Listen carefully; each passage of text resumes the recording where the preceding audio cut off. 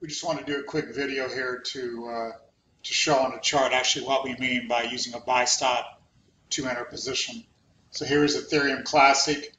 You can see here on a, this is a short-term chart, one hour. You can see possibly this is preliminary support.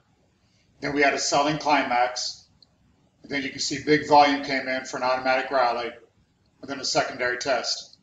And we came up and extended the upper range of the uh, trading range, upper boundary. Then we came back here and we're going to back and fill and accumulate, hopefully.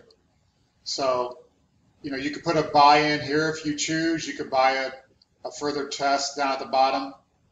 But we want to explain why using a buy stop. So in this case, if you think that Ethereum Classic will finally be ready to go to the upside once, let's say, the $18 level is reached, then you would put a buy stop to buy at 18 when it's touched. And normally that'd be a market order. So therefore, put in an order to buy Ethereum Classic ETC at 18 on a buy stop. That way, when it does finally touch 18 and you think it's ready to go, you would enter a position at that point when you think it's really going to extend its gains quickly.